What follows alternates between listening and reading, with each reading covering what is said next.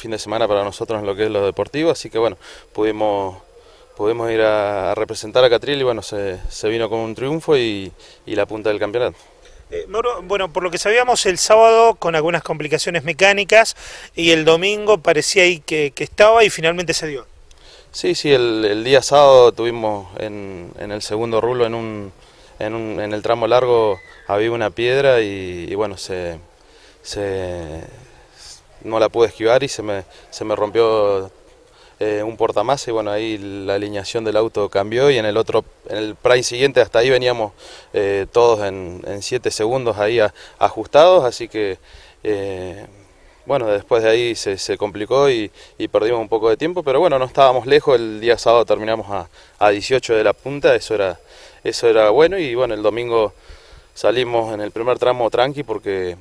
él, sabíamos que el, el, con quien estábamos peleando el campeonato venía, venía último, había tenido problemas y bueno, eh, no, no, no, servían mucho los, los, puntos, así que bueno, eh, se, pudo, se pudo andar bien, abandonó uno de los chicos que, que, venía en la punta y bueno, estábamos, estábamos cerca del, del primero y bueno, nos, arriesgamos un poquito y pudimos pudimos pasar al, al frente y bueno, después del segundo rulo eh, se siguió a, buen ritmo y se pudo ganar, así que bueno, eso es bueno.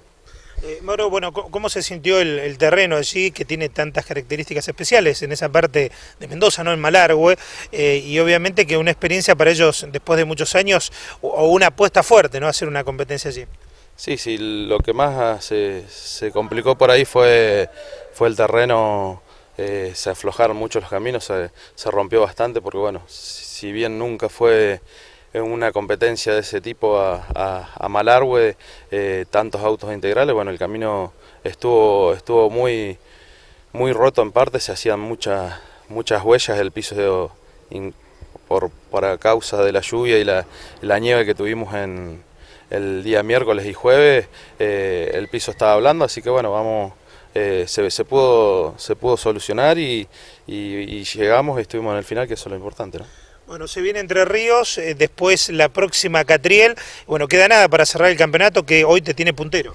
Sí, sí, estamos, estamos punteros, estamos 13 puntos arriba, así que eh, la próxima es Entre Ríos el primer fin de semana de noviembre y bueno,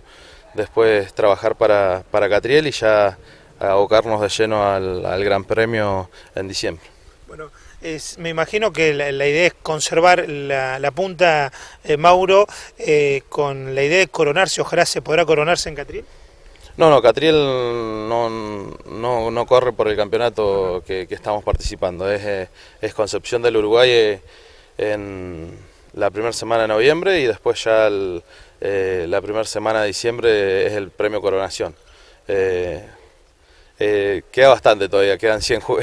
125 puntos en juego, así que eh, hay que ir carrera tras carrera y bueno, estar, estar llegar y sumar, que eso es lo, lo importante, así que bueno, venimos, venimos con ese planteo de, de, estar en, de tratar de llegar en todas, así que bueno, vamos, vamos a ver qué es lo que pasa.